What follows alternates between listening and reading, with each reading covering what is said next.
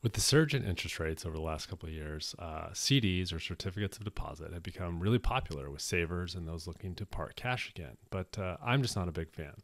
My name is Scott Caufield. I'm a CPA and CFA charter holder, and I am the founder of Sophos Wealth Management. So, what is it that I don't like about CDs? Well, first of all, I mean, let's look at what a CD is. It's just a deposit at a bank or credit union that pays a fixed rate of interest over a specified time period, um, typically anywhere from a month to several years, as, as much as 10 years. Um, there's a few reasons that I'm not a big fan of CDs. So, first is liquidity. Uh, the only way to get your money out is to typically surrender interest um, on shorter term uh, CDs. You might give up three months of interest. On longer dated, you might have to give up as much as six months of interest. So it's fairly punitive to get your money out. Uh, there's also credit risk. So you your any deposit over 250k which is the FDIC limit is uninsured which means you are an unsecured creditor of the bank.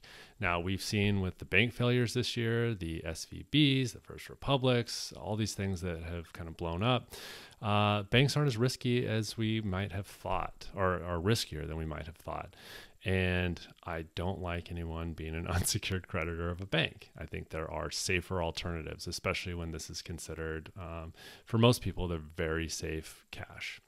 Uh, the next thing is taxes. So, it, all your interest on CDs is going to be taxed both at the federal and then state and local levels if that's applicable to you. There's also a call risk. So, especially for um, CDs that are held at brokerages, they can be called sometimes. Uh, now, that will happen in an environment in which interest rates are dropping, meaning the CD will be called and you'll have to reinvest in a vehicle with much lower yield. So, obviously, that's not ideal. So, what do I tell people to do instead? I think treasury bonds are just a, a much better alternative. Not only is the yield higher, um, and you can see in this chart, uh, the short term treasury bill yield is typically as high or quite a bit higher um, than the typical CD. But on almost every other metric, I think they are superior. Um, so here's just a look at the yields on treasuries. Um, this is as of early June.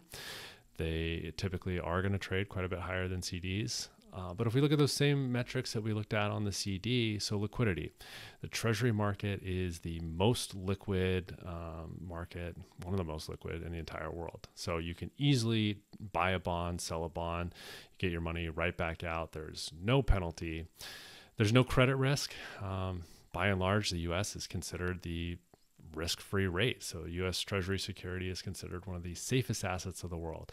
Even with the debt ceiling shenanigans aside, um, the, the concern that you're going to get paid back, if, if treasuries aren't paying you back, you've got bigger fish to fry and bigger problems.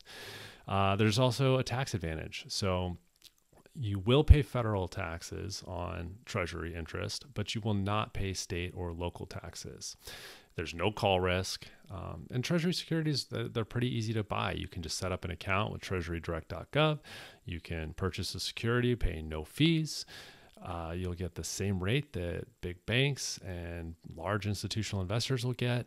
The only drawback is that you can't sell on treasurydirect.gov. You'd have to transfer that to a brokerage and sell the treasury there. But frankly, that's not very difficult to do. And if you're going to go through the hassle of setting up a bank account to buy a CD, it's not any more problematic than that. So, in general, I just think treasuries are a much better alternative to CDs. They, they give you, uh, I think, they're better in just uh, almost every single um, metric that you might look at. So, if you're ever interested in talking about your situation, your financial planning scenarios, your investments, uh, be happy to do a free consultation. And thanks for tuning in.